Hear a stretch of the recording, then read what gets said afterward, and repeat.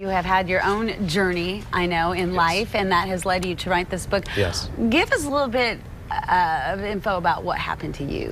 Well, I was born with a birth defect, which was a very concave chest. This was uh, pretty severe. So I didn't look like the other kids. It didn't harm me health wise, it just looked funny.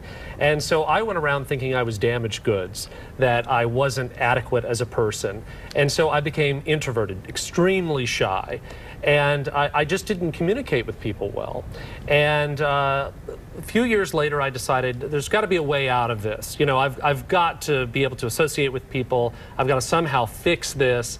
And so what I decided to do was get into broadcasting because I had seen some of my heroes and I thought, well, if you're famous, everybody will like you. so you don't have to be perfect, you know. So uh, my first job was in Altus, Oklahoma at a little radio station in high school.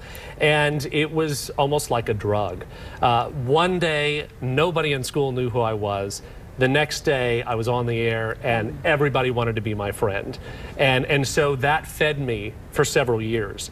But there was always this hole uh, inside me uh, that was unfulfilled. And I got all the way up to ABC News working for network, and I said, something's not right. And that's where I went on a spiritual journey. I took some self help uh, classes, books, that sort of thing.